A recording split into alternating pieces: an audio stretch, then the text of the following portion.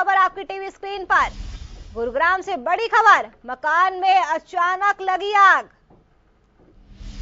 आग लगने से आसमान में छाया धुआँ। देखिए, तस्वीरें भी आपकी टीवी स्क्रीन पर है। एक हफ़्ते में आग लगने की ये पांचवी घटना बताई जा रही है। आग पर काबू पाने में जुटी फायर ब्रिगेड। तो गुरुग्राम से बड़ी खबर, तस्वीरों के साथ आप तक पहुँचा रहे हैं। मकान में भीषण आग लग गई। हर तरफ़ आप देख सकते हैं कि धुआँ ही धुआँ नज़र आ रहा है। और बड़ी बात यहाँ पर यह है कि एक हफ़्ते में आग लगने की ये पांचवी घटना बताई जा रही है।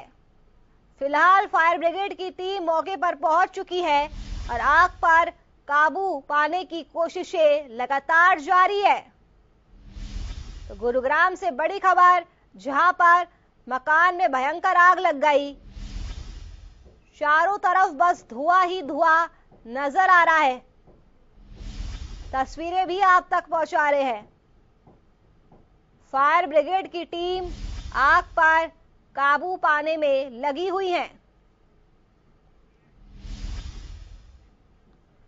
और इसी खबर पर ज़्यादा जानकारी के लिए गुरुग्राम से हमारे ब्यूरो चीफ नीरज वशिष्ठ जुड़ चुके हैं। नीरज गुरुग्राम के मकान में भीषण आग लगी है। फ़िलहाल क्या अपडेट मिल पा रहा है कि आग पर काबू पा लिया गया है? बिल्कुल देखिए अभी मशक्कत जारी है। दमकल विभाग को सूचना मिली थी कि सेक्टर सैंतीस के एक मकान के अंदर ये भीषण आग लगने का मामला सामने आया था। हालाँकि आग किस वजह से लगी थी ये तो अभी साफ़ नहीं हो पाया। हम्म। लेकिन दमकल विभाग की टीमें मौके पर है और आग पर काबू पाने के लिए लिए कोशिशें की जा रही है। जी। नीरज यहाँ पर एक ये भी बड़ी बात है कि एक हफ़्ते में पांचवी घटना है जब आग लगी है। बार बार यहाँ पर आग क्यों लग रही है? इसके लिए किसको जिम्मेदार ठहराया जाए?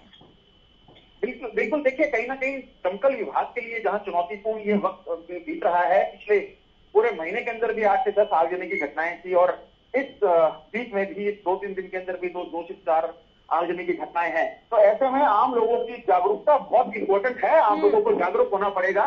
कि देने की घटनाओं को रोका जा सके।